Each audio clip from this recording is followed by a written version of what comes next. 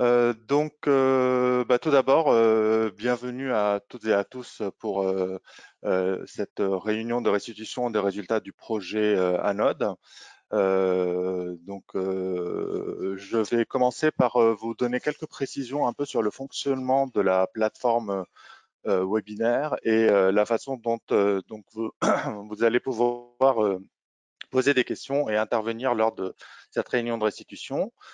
Euh, donc quelques précisions. Donc la réunion de restitution du projet euh, va durer deux heures et demie. Et euh, on va voir un peu plus tard, je vais rappeler donc le, programme de cette matinée. tout au long des présentations, le public va pouvoir poser des questions. Donc vous pouvez faire cela dans la partie saisir une question pour le personnel. Donc je vois qu'il y a plusieurs d'entre vous qui ont déjà envoyé des messages sur cette partie-là. Donc, vous pouvez poser des questions sur cette, dans, votre panneau de configuration, dans la zone saisir une question pour le personnel, en bas de votre panneau de configuration. Et nous traiterons toutes ces questions-là à la fin des présentations pendant la phase, la phase des échanges. Donc, pour information, vos questions ne sont pas visibles par tous les participants. Donc ça, c'est normal si vous ne voyez pas de questions apparaître des autres participants. Euh, c'est la plateforme GoToWebinar euh, qu'on utilise. Elle est, conçue comme ça, cette plateforme.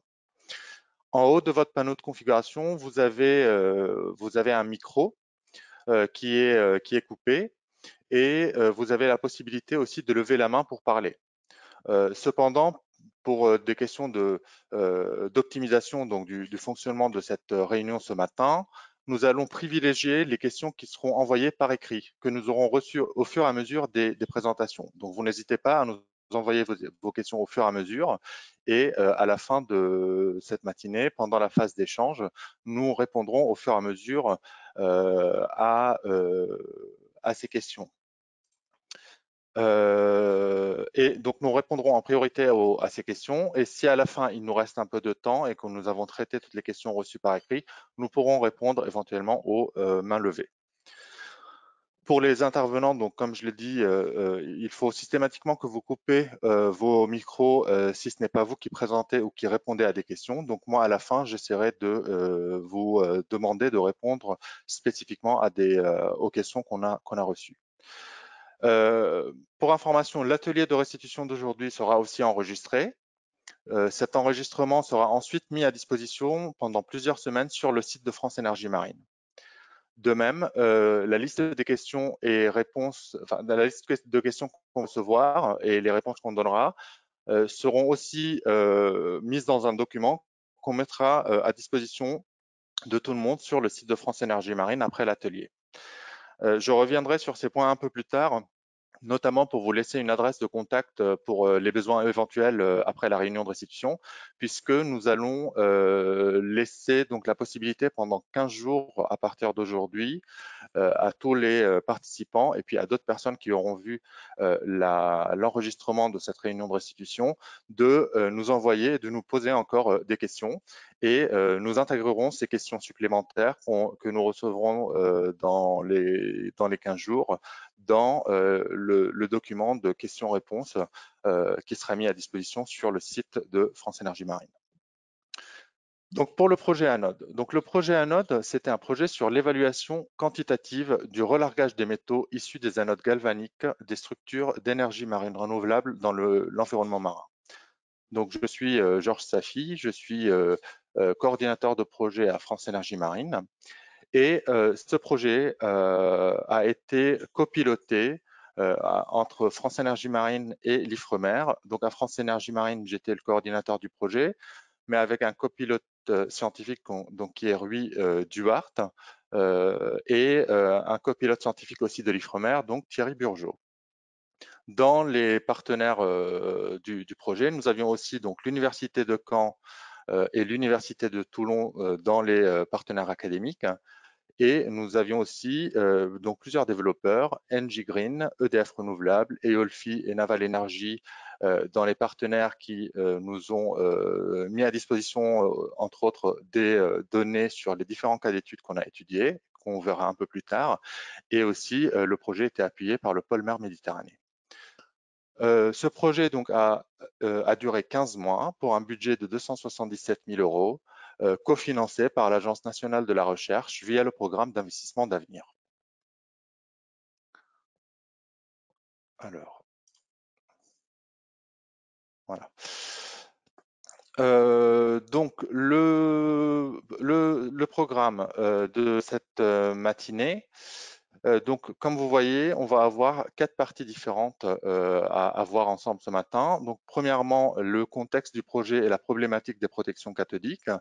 Donc avec trois présentations, donc la mienne tout d'abord, où je vais présenter donc le projet anode, le contexte du projet et les objectifs de ce projet-là. Ensuite, on aura une présentation donc, qui sera faite par Emmanuel Aragon de l'Université de Toulon sur les principes de la corrosion et la protection cathodique, puis une présentation qui sera faite par Christelle Kapla euh, de l'Université de Caen-Normandie sur la problématique associée au relargage des métaux dans le milieu marin et la spécialisation de ces métaux en eau, de mer. Ensuite, à partir de 10 heures, euh, on va donc euh, voir les, les, résultats du projet avec l'évaluation des flux de dispersion et du risque chimique. Donc pour cette deuxième partie, on aura trois présentations. Tout d'abord, le contexte et la détermination des seuils d'effet en eau marine qui sera faite, une présentation faite par euh, Naïs Julien de la cellule ARC Ifremer Ineris. Puis, euh, on verra donc les résultats de modélisation hydrodynamique de la dispersion donc, des métaux et des concentrations dans le milieu marin qui sera faite par Nicolas Michelet de France Énergie Marine. Euh, puis, on aura une troisième présentation sur la détermination de l'exposition en eau marine, la caractérisation du risque chimique et les recommandations euh, sur, euh, sur cette caractérisation qui sera faite par Anaïs Julien de la cellule ARC Ifremer Ineris.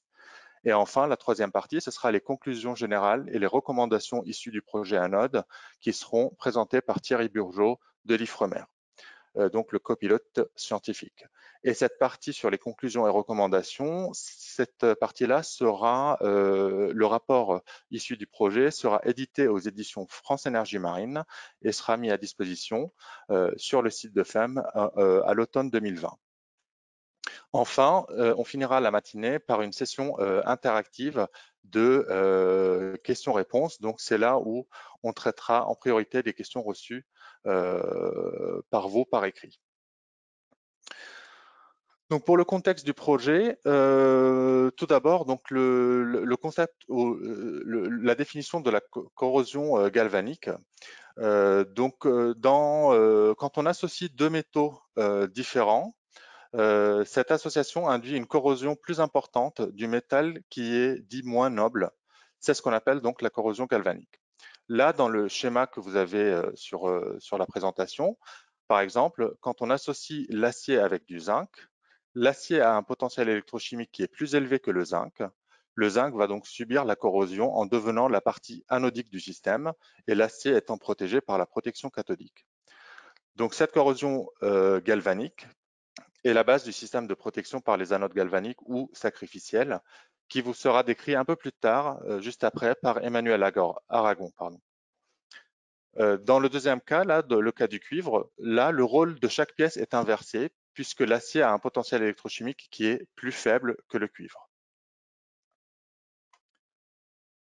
Euh, le développement des parcs éoliens offshore en France apporte des questionnements nouveaux et précis des autorités publiques et de la société civile. Pour l'autorité environnementale, donc dans les avis délibérés de l'autorité environnementale, plusieurs points ont été soulevés concernant les anodes galvaniques qui sont listés ici euh, sur, sur, sur, la planche.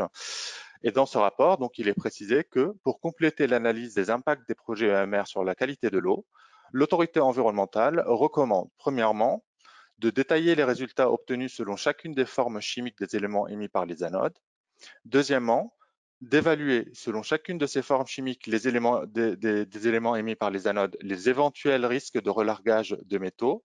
Et troisièmement, d'indiquer en outre si d'autres solutions que les anodes sacrificielles seraient envisageables, en précisant euh, spécifiquement euh, les protections cathodiques à courant imposé, ainsi que leurs avantages et leurs inconvénients, y compris au regard de la qualité de l'eau.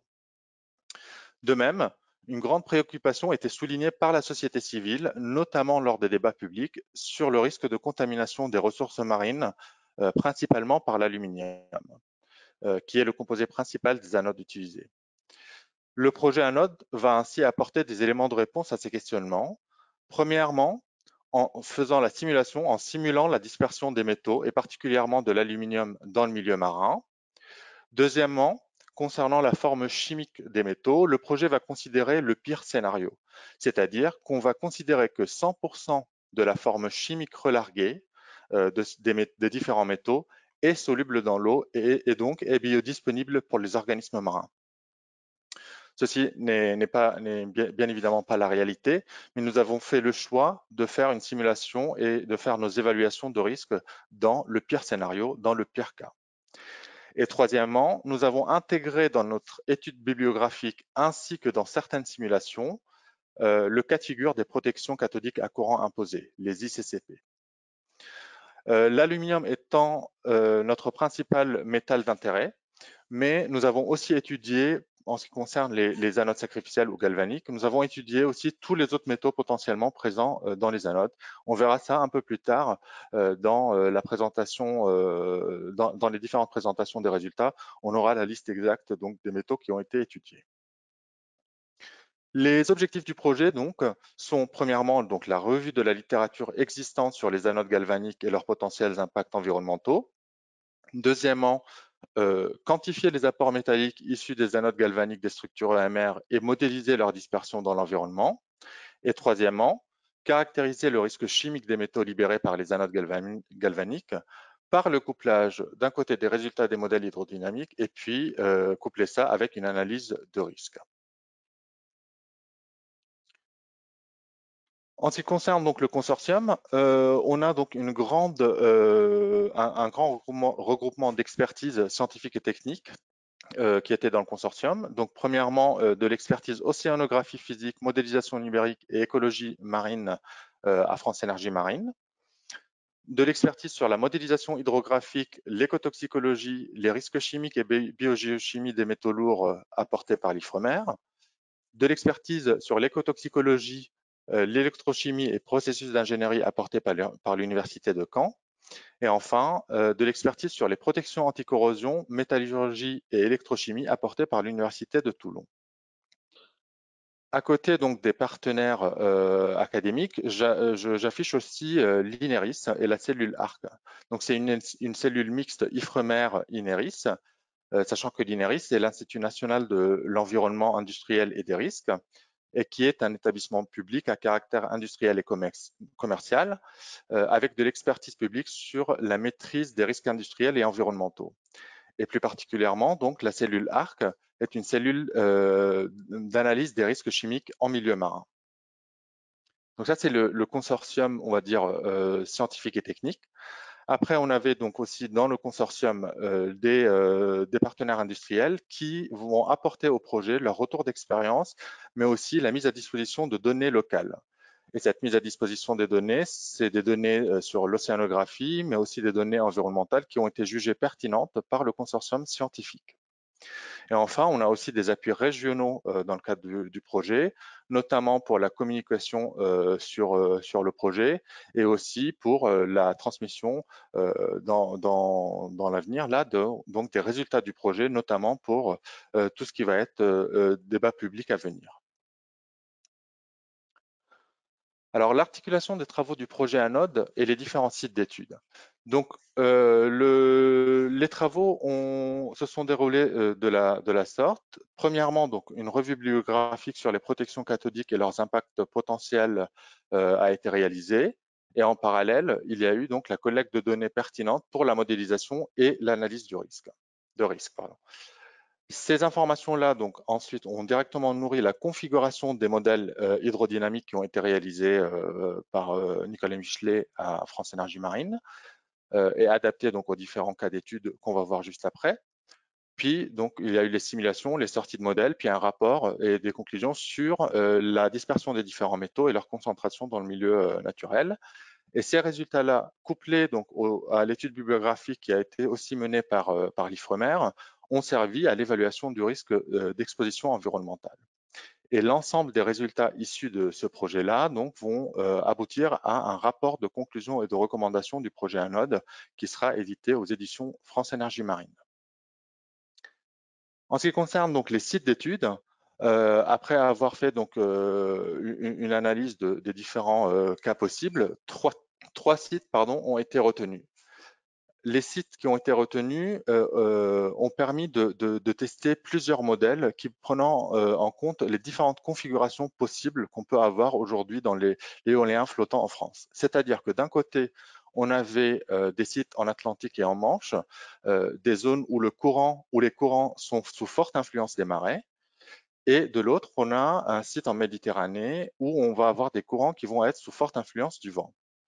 Et en même temps, on a tester dans ces différents modèles les différents types de structures qu'on va avoir. On a d'un côté donc les éoliennes fixes et de l'autre les éoliennes flottantes. Donc par exemple, le premier modèle qui est sur le site de Courseulles-sur-Mer, lui va être euh, dans une zone où les courants sont sous forte influence des marées avec des éoliennes qui sont fixes. Pour le site de Groix-Belle-Île, on va avoir donc euh, une zone avec des courants sous forte influence des marées avec des éoliennes flottantes et pour le site de Leucate en Méditerranée, on va être plutôt sur des courants sous, forte influence de vent. Aujourd'hui, on va essentiellement, donc dans les résultats, vous présenter un modèle euh, qui sera celui de Courseulles-sur-Mer, mais dans la partie conclusion qui sera faite par Thierry Burgeot, euh, euh, Thierry vous, présentera en résumé quelques résultats des, deux autres simulations aussi. Donc voilà le, contexte et les objectifs du projet. À présent, donc, je vais vous passer la parole donc, à Emmanuel Aragon euh, pour euh, présenter euh, donc, le principe de la corrosion et de la protection cathodique. Mais avant de passer donc, la, parole à Emmanuel Aragon puis Christelle Capla, juste quelques précisions sur, sur cette, cette restitution. Donc, comme je l'ai dit tout à l'heure, vous allez pouvoir euh, nous contacter euh, pour d'éventuelles questions supplémentaires à la suite du webinaire euh, via l'adresse que, vous avez à l'écran, donc à l'adresse contact@ite-fem.org en précisant dans le, le, titre du mail le projet Anode.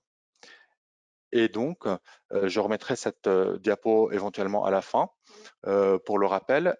Et donc, comme je l'ai dit tout à l'heure, euh, la vidéo du webinaire ainsi que la liste des questions et des réponses sera ensuite mise, à euh, sur le site de France Énergie Marine euh, pendant quelques, quelques temps.